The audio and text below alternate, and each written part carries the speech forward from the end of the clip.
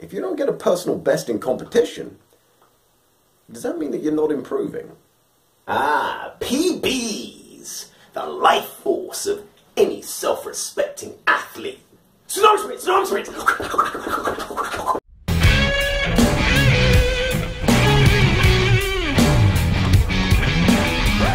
Preach! Testify!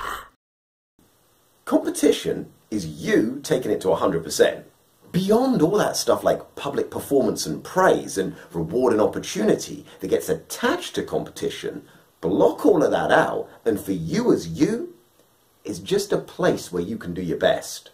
The problem is, how do you rate your best? Is it participation? The result? The effort? Participation? It's a little left wing. What? Everyone gets a medal on sports day? There are no losers? It's a terrible idea. Makes us weak. I think I have to agree to a point. Just taking part isn't good enough. I'm sorry, it isn't. So, is it the result? Because that's a very right wing idea.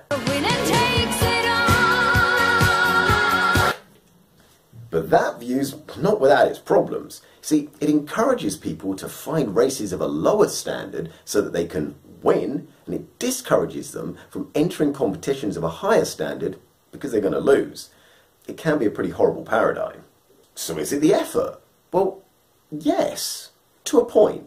See, effort is an individual and relative phenomenon. I mean, if you can win easily, then that is less effort, but why shouldn't you feel happy about it? And on the flip side, do you really think that the best just keep ratcheting up the effort to get better and better over time? Let me tell you something. That's a fiction. There's a falsehood that's put out by the successful that they put in more effort. But that is nonsense. It's literally scientifically untrue. Now, I don't usually throw around the science in this type of video because a lot of it's just open to interpretation, but this is just plain and simple body chemistry. Elite anomaly 5k runners run at about the same percentage of maximal intensity. So they're basically trying as hard as each other. The difference is the elite athlete produces a bigger output for the effort. And here's the mind bend the elite guy gets the bonus of doing it for less time because he's faster, whereas the slower guy has to go relatively as hard, but for longer. So that tells you, if you're serious about your competition, you're putting in the same effort when you start out as you do when you're a seasoned pro. The only difference is you'll have a bigger engine. Right, so that's that. No, wouldn't be an Essop's view if there wasn't a curveball. Well, in this case, I've already thrown the curveball, so this is more like a secret counter top spin that I'm about to add. So, how do you rate that you've given your best, you've given your 100% if it's not by participation, result, or effort? You realize that your 100% is changing all the time. It's a fluid concept. It changes as you sleep, it changes as you eat, it changes as you live. Your 100% is in flux, it's not fixed. When you go to bed, your 100% is obviously lower than when you wake up. That's why you sleep to recover. So accept that your 100% oscillates in a day, every day. Think about your maximum for the day, not your maximum ever. Let's call it your daily maximum, not your absolute maximum. Now, if everything's fine and you've got no problems, then your daily maximum is probably going to be somewhere between 95 and 105% of your absolute maximum. So when you finish the race and before you start beating yourself up about not getting that PB, when you're doing your post-mortem of the result, pause. Then grab yourself a calculator off the nearest bean counter and work out the percentage that you just did of your maximum. Now you know this is true. The guy's got a best of let's say 11.35 and he drops an 11.42, he's not happy. That's like 99% of his best ever. Pray tell, in what other test or exam would you score a 99% and have the emotion of disappointment? If you performed at 99% of your best in any job, you'd be employee of the century. They'd never be able to get your picture off the wall. So it's really important to compute the level that you compete at in comparison to your best. Now, let's just say that you produce a performance that is a low 80%. Either you're on the comeback trail after injury, or you're about to go down courtesy of the people's illness elbow.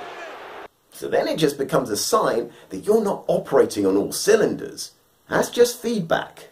And in fact, the percentage tells you that there's no point in competing at the moment. You need to recover and then go back into training. Then you just consider that competition 80% as a benchmark and you look for a conservative improvement around about 1% a week. In the worst case scenario, you're back up to your best inside of 20 weeks. And just run this through your database for a second. Take Mr. Bolt. Now he came good in 2008 with a new PB after an injury-ridden 2007 World Championships where he got a bronze. He then got another PB in 2009. And after that, he hasn't PB'd in the last seven years of competition. In fact, he's been in a slow decline, but do you think that he goes to bed at night disappointed that he didn't get a PB in 2011? Yes, now of course, he's got other ways of measuring his success. But the lesson might be, use some different yardsticks, because PBs are great when they turn up, but kind of like porn star girlfriends. They're probably not that dependable. I probably can't draw that conclusion because uh, it's just a job. Maybe really loyal. I don't know, whatever. It's not the point. The point is, don't trust PBs and eat your greens. What is more important and consistent for your sprint psychology and more within your control is to ask yourself, am I learning more about me? Because if you're learning, you're improving. You've got to find the lesson in every result. And in order to find the lesson, you've got to participate. Ooh, so the left and right both do have something to offer. You just have to have the wisdom to balance it. Well, I haven't strictly said it, but what the hell? I hope this helps. Bust me a thumbs up, because let me tell you something. Yap away in the comments, babe. Dare to share, and some sort of rhyme that got something to do with hitting the notify button. I don't know. If you like my vibe, please subscribe. Hit the notification to get new information.